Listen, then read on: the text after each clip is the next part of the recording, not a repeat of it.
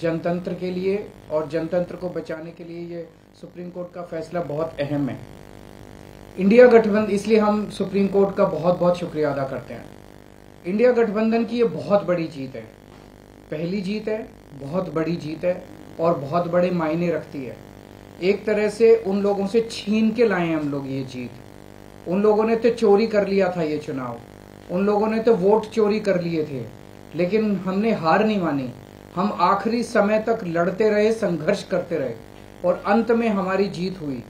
तो ये पूरे देश के लिए, इंडिया गठबंधन के लिए बहुत बड़ी जीत है और बहुत बड़ा संकेत देती है देश को।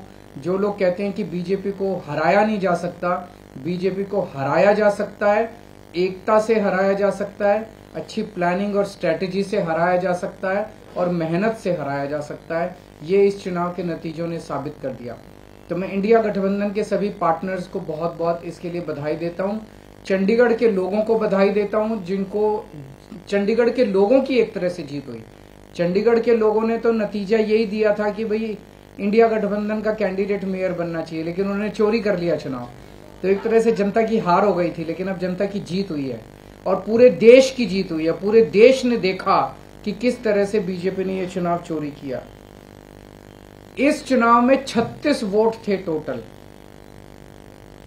बीजेपी के, कांग्रेस के, आम आदमी पार्टी के, अकाली दल के 36 35 काउंसलर और एक मेंबर ऑफ़ पार्लियामेंट 36 वोट थे।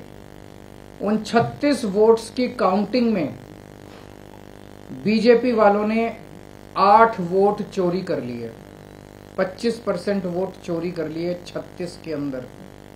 सोचो। अभी कुछ दिन के बाद देश का बड़ा चुनाव होने वाला है।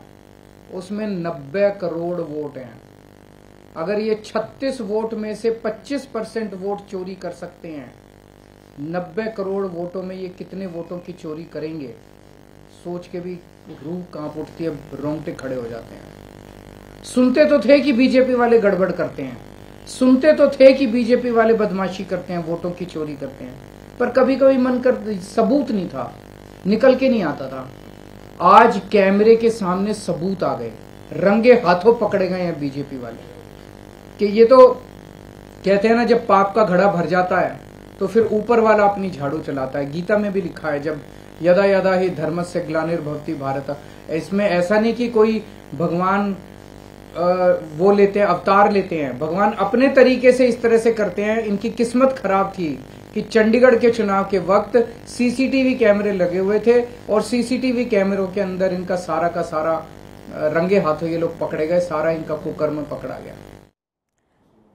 तो दिल्ली के मुख्यमंत्री अरविंद केजरीवाल का आप आ, उनकी प्रेस कॉन्फ्रेंस आप सुन रहे थे। चंडीगढ़ के लोगों की जीत हुई है। आईएनडीआईए के लिए बड़ी जीत है सर्वोच्च अदालत के फैसले पर। उनकी कॉन्फ्रेंस एकता से बीजेपी को हराया जा सकता है ये उन्होंने कहा। गलत तरीके से वोट अवैध किए गए थे।